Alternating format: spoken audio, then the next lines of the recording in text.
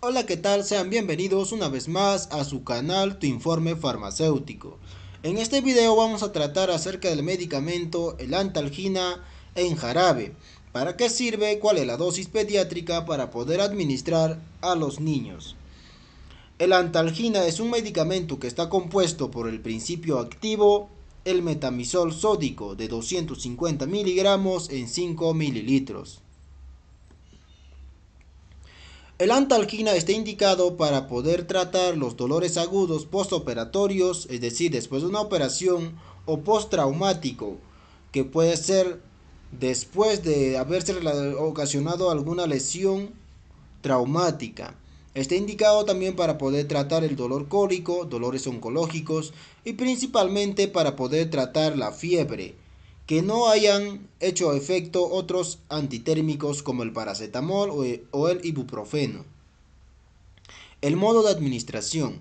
La dosificación de la antalgina depende de la intensidad de los dolores o de la fiebre y asimismo de la sensibilidad individual para poder reaccionar a metamisol.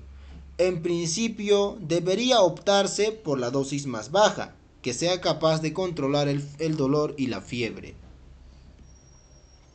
Bien, ahora vamos a ver la dosificación de la antalgina en jarabe para los niños.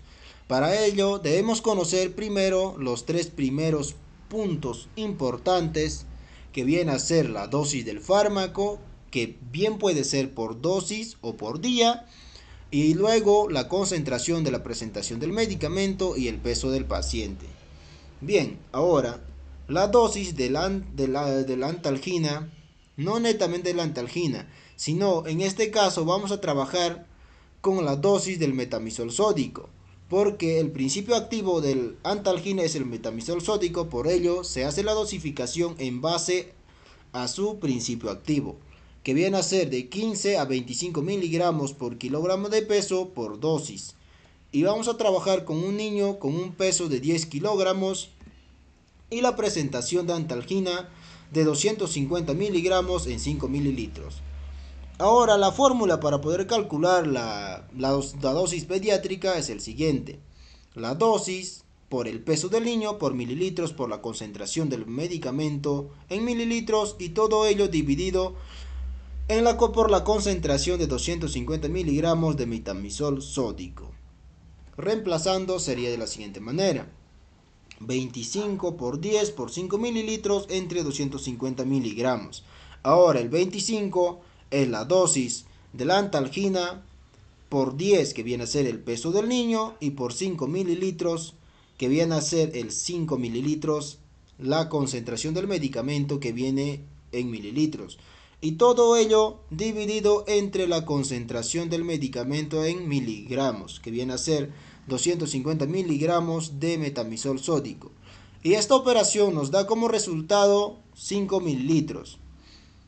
Ahora, el metamisol sódico se administra cada 6 horas. Que por ello va a ser la administración de cada dosis, va a ser de 5 mililitros cada 6 horas. Ahora, la dosis del, metamisol sódico es de 15 a 25 miligramos. Se podría trabajar con cualquiera de los dos, pero normalmente se recomienda trabajar con esta dosis de acá. Y si usted quiere realizar la dosificación para administrar a su niño, tiene que saber con exactitud el peso de su niño y fijarse muy bien la concentración del medicamento que coincida con esta presentación que estamos realizando, la dosificación. Si eso es el caso, nada más tendría que cambiar el peso del niño, acá, que puede ser de 15 o 20 kilos, y hacer la misma operación y administrar al niño cada 6 horas en una cuchara medidora o puede ser también en una jeringa. Bueno, recuerda ante cualquier duda, siempre acuda a su médico o farmacéutico. Muchas gracias por su atención, nos vemos en el próximo video.